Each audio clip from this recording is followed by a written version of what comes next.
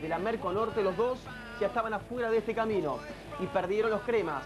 La formación de Osvaldo Piazza, el argentino, con muchos juveniles frente al Caracas Fútbol Club de Venezuela, que se pone en ventaja. Gol de Castellín.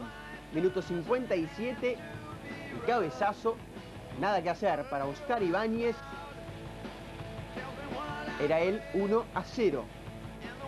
Llega el segundo de tiro penal, otra vez Rafael Castellín.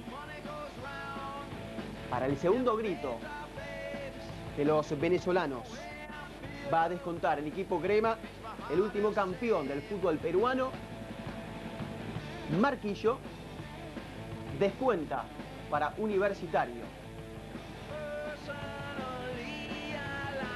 En Universitario jugó ya en el segundo tiempo a partir de los 5, Mauro Cantoro. El último, Restifó, minuto 89, gol de Caracas para su victoria 3-1 en Lima frente a una victoria.